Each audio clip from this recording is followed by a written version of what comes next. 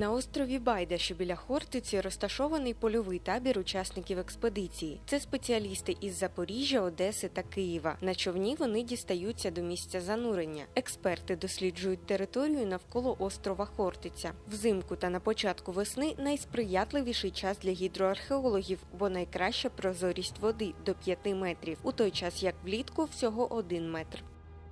Доволі прохолодно, але з- Плюс один. Да, вода плюс один, але е, приємно.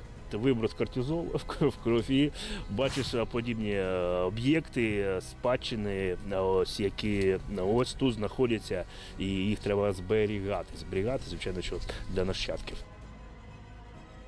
Якщо ти е, щось е, малюєш, дуже холодно, тому що ти не рухаєшся.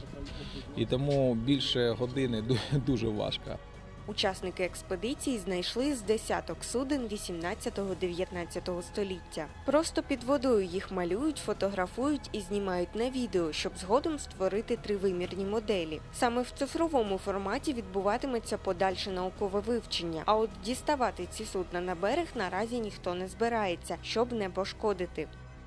Ми працюємо у двох напрямках. По-перше, ми вивчаємо стан і е, технологічні аспекти е, пам'яток, а з іншого боку, ми займаємося пам'яткоохоронною діяльністю, тобто ми е, формуємо пакет документів для того, щоб е, занести їх до реєстру, тобто щоб пам'ятка мала якийсь статус охоронний.